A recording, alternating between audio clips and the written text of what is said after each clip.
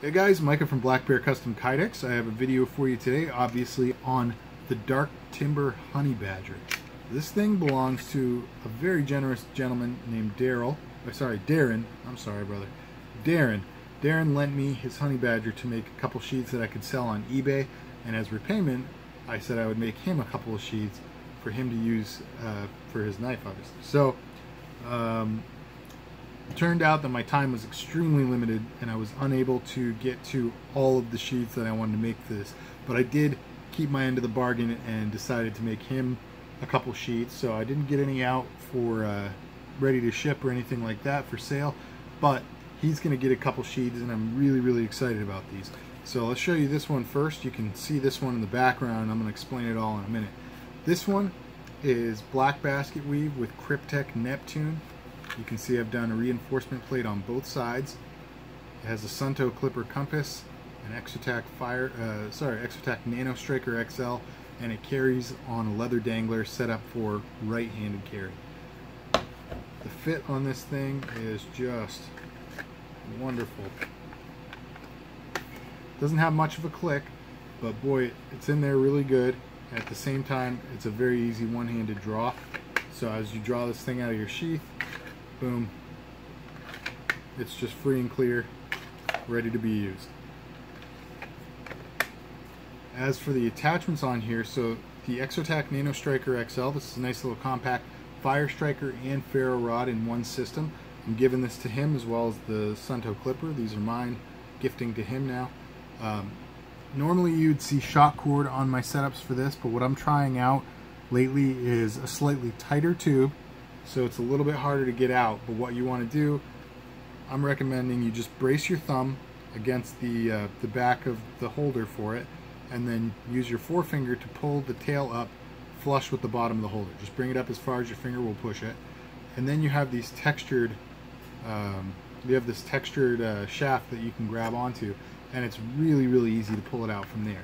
So all you have to do, is assist that upward and then grab it from the textured uh, finish there and it's free and clear. As for the clipper, this is a floating plate that I started doing recently. All it is is a little flat plate up on some spacers and that gap behind just leaves room for the clipper portion of this compass. You can see the clipper and the light and then the rest of the compass. So you slide the clipper underneath that plate and then the tooth on the main body of the compass will seat down into this quarter inch drill hole right there. You can hear it click in sometimes. It just made a little tiny click there. So it's in there fairly secure, but all you have to do to get it out is kind of lift the bottom of it and start sliding it up. So a good whack would completely dismount that sucker. So you do have to be a little bit aware, be a little bit careful. Um, but one thing that you can do if you want to add some extra security without making it look funky or anything like that is you can just take even just like a piece of paper, just a little piece of paper and fold it in half and you can stick it in behind the compass and that just adds a little bit of pressure and keeps that sucker wedged in there. So um, yeah, there are a lot of different ways that you can do that. excuse me guys, just anything thin and flat you can put down back there and it should add a fair amount of uh, resistance now so that it's in there just a little more secure. I wouldn't be worried about it carrying it like it is, so this is how I'm shipping it out. Uh, I'm just giving you that in case that's a concern for you, Darren, um, what you could do to add a little bit of resistance. Alright, so that's pretty much this sheath. And the one that I'm wearing, this is a first for me. This is actual alligator hide. This is genuine alligator. Um, I've had it for about six months and um, I have been waiting to do a project for it. I just haven't had the occasion yet and I really wanted to do something special for him. Uh, so I decided I would bust that out, use some of it, and uh, hopefully he likes this. So I think it came out really well. There were a couple little learning things for me, one of which was the thumb ramp. So you can see this one has a traditional thumb ramp where you can really get your whole thumb against that. Very comfortable, very smooth. Um, this one, I was unable to do that. I did try to do it, but then trying to bend the leather when I was putting it on, it wouldn't go. So what I had to do was smooth out the top again of the sheath, and um, which was a fiasco because I had glue drying on the outside of the sheath and the underside of the leather. Uh, so that, that was a real pain in the butt. But I got it working, so I flattened out the top again, and then I adhered the leather, got that all done, and I had to reheat the Kydex, and I slipped in a piece of uh, craft wood, and basically just put in like a triangular groove on top of the handle, sanded it off at an angle to create a little thumb ramp, and it works really nicely. Um, it is very comfortable, in spite of not being a traditional thumb ramp, but it does work really nicely, so gives you plenty of uh, material to push off of. The draw on this one is even smoother than the other. I'm so pleased with how this one came out. I'm, I'm just, I'm in love with this sheath. So one of the other things with it is that the edges of, uh, of the alligator leather didn't have the same properties as the edges of cowhide. So when you slick them, it takes quite a bit more work with alligator leather to get the edges to slick up. So I got it pretty good. Um, they actually show a little bit of a gray color to them and that's probably just a product I'm sure this is dyed obviously there's no alligator out there that's like the blackest color in the world I don't think. Uh, normally they're like a greenish brownish so I'm sure this is all dyed anyway and maybe that's just a, a byproduct of the dye that grayish color there. But I actually thought instead of putting some black edge coat on it which was my initial reaction when I saw the, the color difference um, was my my decision ultimately was to leave it because it really matches the handle scales well. That color, for whatever reason, is like, it's like the perfect accompaniment. You can see how well that goes with these handles. So that was just kind of serendipity there. Um, and then as far as the color of the Kydex here, this is actually foliage green, which again matches the handles exception exceptionally well. I'm not sure what the actual color on the handles is, if it's a gray or if it's a green or if it's a tan. It's kind of in that uh, really vague color. Uh, it's in a really weird spot on the color spectrum for my eyes. So perhaps Darren can comment down below and let us know. These are custom handle scales. These are not the factory scales. Uh, he did send the factory scales to me so that I could put them on when I make the um, the other sheets that I was just going to have on eBay or whatever. Uh, but unfortunately I didn't have time to, to make those sheets, so I never even removed these scales. But in any event, these things are really sweet. I'd love to know who made them. I don't know if you told me or not, but I don't think so. I don't remember. Um, so, in any event, this guy has a big 6 inch by half inch ferro rod on it. It was the ferro rod that came on his other sheath, so now he can rock it on this guy as well. And uh, instead of shock cord, it already had this paracord slip knot on it, so all you do is just slip it down over like that.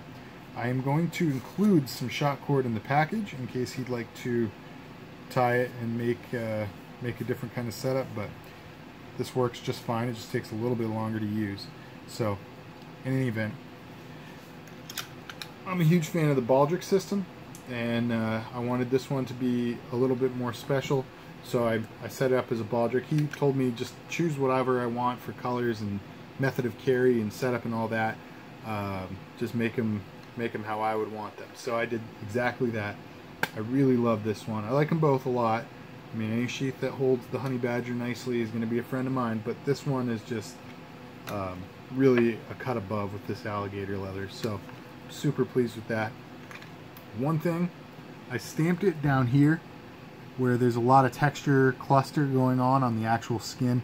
And so it is a very clean stamp, but it's super hard to actually see it on camera and it's kind of hard to see it from more than a couple feet away.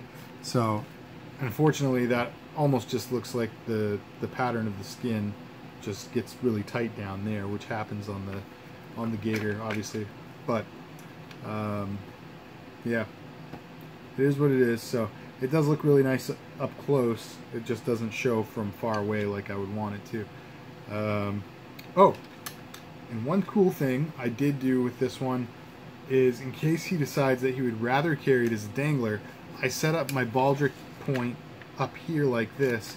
So normally when I'm carrying a baldric, I would have it flip down just because it brings the center of gravity in slightly.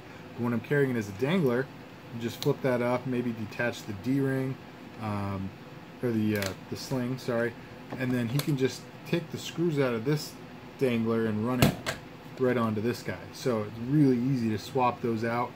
Um, I hadn't really thought about it before, but using black cowhide with alligator leather might be some kind of faux pas. I don't think it looks bad. It's just not not optimal, but that's what we got to work with. So in any event, I'm just super happy with these. I would love your opinions down below, guys.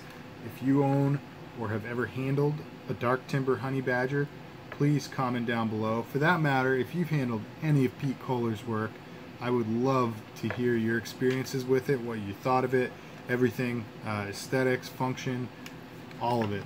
To me, this is just one of the most beautiful knives I've ever seen. It just, it looks so fierce and uh, and beautiful. I mean, it's it's really a work of art. So, uh, Pete, if you ever happen to see this, man, I am so appreciative of your work, and I hope someday that I can own a few of these pieces because they are truly beautiful, and I have no doubt that this thing is extremely functional as well. But all right, guys, that's what I got for you right now.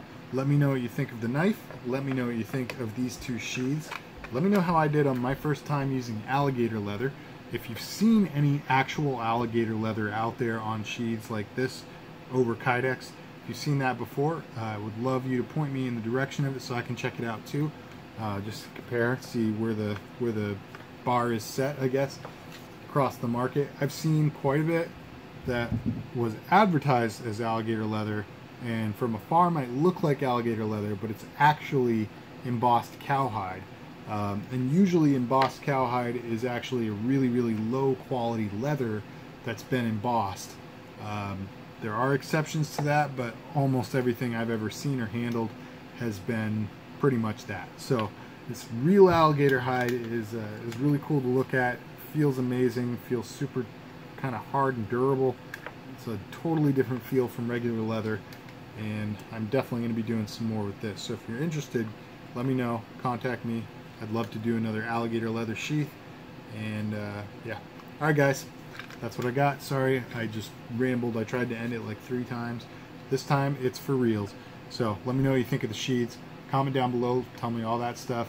Like if you liked. Oh man.